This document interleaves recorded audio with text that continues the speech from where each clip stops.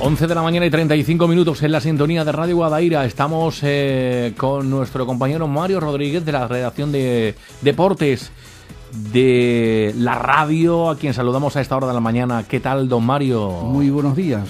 Bueno, cuéntenos un poquito.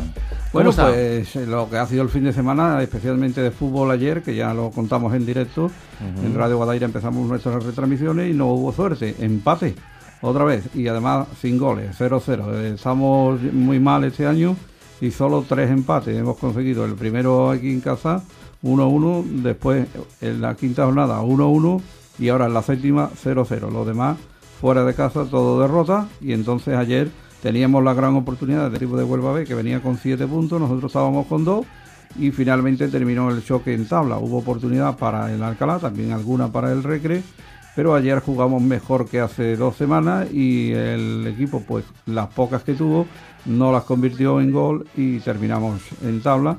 Y es un punto que a todo el mundo le supo muy, muy poco, como se suele decir, pero eh, hay que seguir apretando y sobre todo en el club se decía que tranquilidad y seguir luchando para mejorar el plantel. Bueno, ¿cómo está la gente ante eh, este cúmulo de resultados negativos que se han ido produciendo en las últimas semanas y que no deja más de que confirmar que bueno pues el Club Deportivo Alcalá va a pasar una temporada difícil y complicada. Así es, más o menos desde el principio ya se veía venir, teniendo en cuenta todo lo que era el cambio de la plantilla, que se han quedado solo cuatro veteranos con respecto al equipo del año anterior, tres eh, o cuatro más o menos vienen jugando todos de titular y el resto son algunos que hemos recuperado y otros que son bastante más jóvenes, de 19, 20, 21 años, que se tienen que ir haciendo la categoría y al equipo y al plan que diseña el Miser y todavía no lo consigue. Entonces ayer eh, no estuvo mal el equipo, eh, la primera parte tuvo sus ocasiones y sobre eh, todo decía el Mister que habían jugado mejor que nunca en la primera parte, pero no convirtió en la única oportunidad que tuvo Rubén. Y luego la fue intentando, todas las piernas, también la ansiedad de que no salen los resultados Hubo dos porteros muy buenos y finalmente no la convirtieron en gol, que es de lo que se trata. Eh, al final, pues, que cita, que se cual. Y la gente, unos piensan que es otro el entrenador y entonces la directiva pues piensa que es problema de todo el mundo, fallan o todos pierden y hay que seguir eh, con paciencia para que el equipo... No, no. en las próximas semanas? Pues ahora vienen dos partidos eh, muy seguidos, este la gente el Alcalá le han puesto el horario el peor de la jornada porque juega, juega a Tarif y lo hace a las 8 de la tarde. No es una hora muy correcta para jugar porque lo 12, 5 y 6 de la tarde del miércoles, pero al Alcalá le han colocado el, el, Cádiz a un equipo que está también en problemas, que ayer solo empató en el feudo silencio tiene tres y vamos a ver si es capaz de pescar allí la primera victoria. Ya el domingo a jugar en casa el Alcalá y lo hace con el Arcos de la Frontera, otro equipo de Cádiz clasificado. Lo que hay en torno también está pendiente hoy no, mañana para ver si recupera. Hay tres o cuatro jugadores ir entrando, a lo mejor le da un golpecito más de calidad al equipo. Uh en, de cosas, otros equipos como la Estrella, el Mosquito, háblenos un poquito. Hablamos de estos equipos que los que eh, juegan en categorías más importantes, superiores. En una categoría inferior, el División de Honor Senior Grupo 1, Pozo Blanco. El partido empezó a las 6 de la tarde, obviamente terminó y, el viaje. Y uno, los dos ya marcó el choque pues con 2 a 1 a pesar del asedio los chavales del eh, equipo de la Estrella que en la división de aficionados este miércoles a las 12 de la mañana en casa frente que juegan Floreño a las 12 de la mañana en el Ciudad de Alcalá y luego ya eh, la semana de este domingo pues jugarán fuera de casa. Y en cuanto a los otros equipos locales, el Rabesa, eh, que milita también en la cuarta andaluza, la más baja, ganó ayer 4 a 2. Ayer lo estuvimos transmitiendo por fase con un compañero que estuvo allí, el amigo Paco, y ganaron por 4 a 2 y se han puesto primer clasificado después de la cuarta jornada.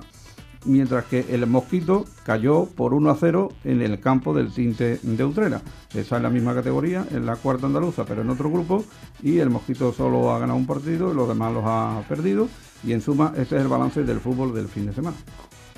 Bueno, eso en cuanto al fútbol. ¿Y en cuanto a otras actividades deportivas, Mario? Todavía estamos pendientes de que vayan comenzando las actividades que se juegan del pabellón. El fútbol sala, pues jugaron fuera de casa y sobre todo están pendientes los aficionados de que se inicie la temporada de voleibol, de baloncesto y de otras modalidades deportivas, de piscina y todo eso, que todavía están por arrancar, que están, digamos, en pretemporada.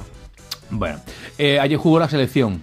Sí, y jugó muy bien, ¿no? Polémica importante por las mangas de Piqué. Sí. bueno. A usted como comentarista deportivo, ¿qué le parece ese tamaño de estupidez eh, que se esté hablando más de las mangas de Piqué que del propio partido. Que Yo estaba siguiendo también las radios y lo estuvieron comentando los comentaristas. Unos le dieron más importancia, a otros no. a mí me da igual que cada uno se ponga lo que se ponga. Pero que eh, es verdad, estaban como ya el partido estaba tan decidido y no tenía ninguna historia pues se ponían a hablar más de eso que en definitiva del partido. ¿Y tú qué piensas? Porque ya se ha cansado y dice que se va, ¿no? Sí, eso ha dicho, ¿no? Pero, bueno, que a uno que haga lo que quiera. Y sobre todo el tema de la selección, que ha conseguido un empate y una victoria y ya es primera junto a Italia, que también ganó en el último minuto, ¿no? Pero que, en suma eh, se le da más importancia de lo que tiene. Muy bien, bueno, ¿algo más que apuntar, Mario? Nada, este fin de semana ya vuelve toda la normalidad con el fútbol de primera y ganará el Barca o perderá y el Madrid o ganará o perderá. Por cierto, se ha lesionado mm, Sergio Ramos dice que tiene por lo menos para un mes, ¿no? Sí, eso dice. Bueno, habrá que esperar. Hay otros que también se a, ver quién, a ver quién va a marcar ahora en el último minuto de cabeza, ¿no? Ahí está, ahí está. Messi ya mismo volverá y ya el Barça puede recuperar todo lo suyo. Y en, en suma, pues vamos a ver eh, que el Madrid también tiene dos o tres lesionados de, importancia. Ya lo está notando en los últimos partidos. Muy bien. En fin, ya se verá.